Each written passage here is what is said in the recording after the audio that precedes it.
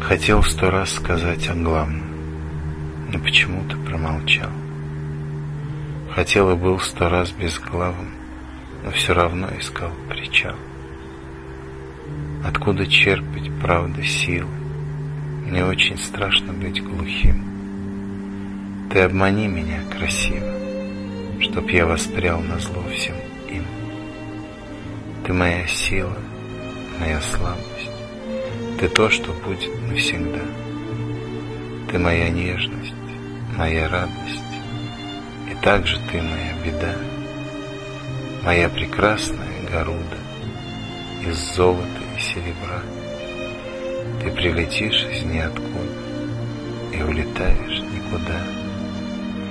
Ты мое главное смятение, Ты очень ласковый кариф, Ты тысяча из ста сомнений, Ты спрятанный под воду риф.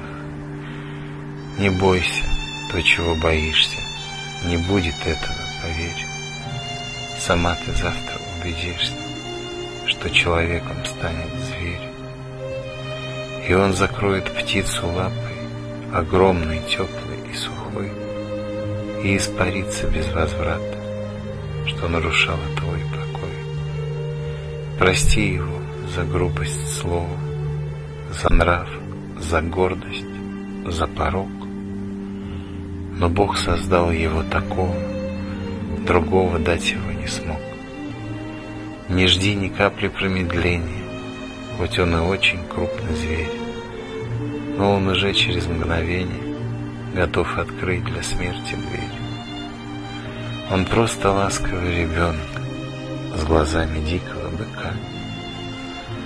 Не бойся ты его потрогать, ему нужна твоя рука.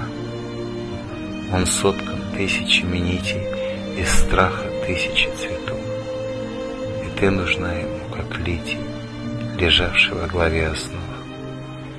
Не оставляй его напрасно, ты для него, как океан.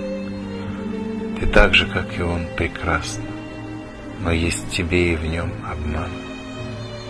Ты просто будь теплее и легче, тебя он точно не предаст. И если дом сгорит от свечки, он сразу свой тебе отдаст. Ты для него как символ веры, как правда, нежность и уют. Но все вокруг, не зная меры, как дерево его клюют. Он ослабел, как после боя, слабеют духом и рукой. Ты спрячь его под тонким слоем и подари ему покой. Ты то, о чем сама не знаешь, ты для него одна звезда — то гаснешь, то опять сияешь, светившая на образа. Ты приоткрой ответу дверцу, и он известен всем богам. Тебя он любит своим сердцем и припадет к твоим ногам.